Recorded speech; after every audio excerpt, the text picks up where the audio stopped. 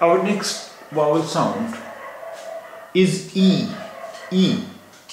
It is a combination of uh, Alif Zer and Choti A. Alif Zer and Choti A together give a sound of E. E. Alif Zer was E and Alif Zer in Choti A is E. E. Uh, it is uh, like uh, double E in English word seam. Seam. This is the phonetic symbol of E. E. E. E. Now, some words. Choti a is P. Choti a is P. पे छोटी ए is P and नून अलिफ is ना। पे छोटी ए is P and नून अलिफ इज़ ना। पीना। पीना। पे छोटी ए, पी एंड नून अलिफ ना। पीना। You are looking this diacritical mark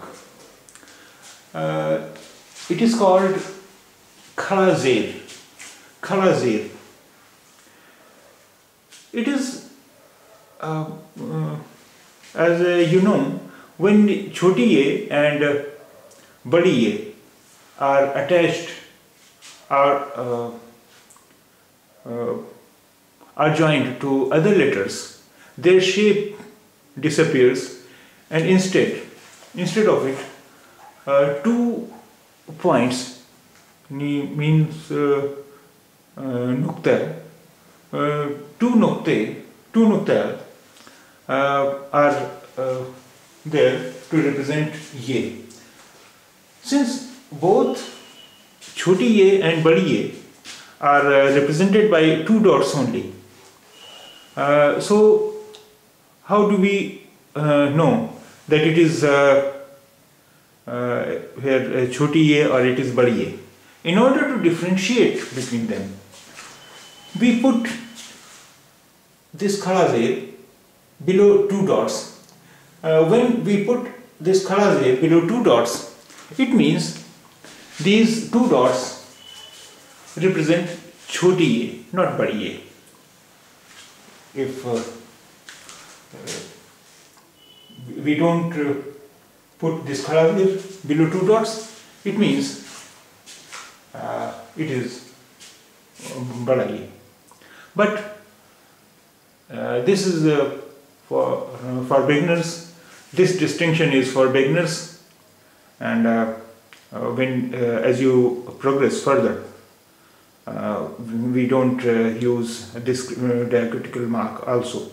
So you you will hardly find it in books or uh, newspapers.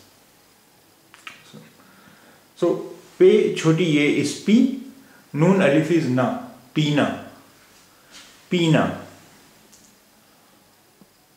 And a is e, e and dal, Eid. And a is e and dal, Eid. Pina means to drink, and Eid, Eid is a, a Muslim festival. It is a festival of Muslims. Eid. Eid. And choti a e and dal, Eid. Eid. We have put the khada zer below two dots. It means it is choti a and choti a e and dal Eid. Eid. and the word is Te zabar ta and qaf taq. There is jazm over uh, qaf, so uh, there is uh, no vowel sound is attached to qaf. So te zabar qaf is taq. Re choti a is re and r. R. Taqreer. Taqreer. Taqreer.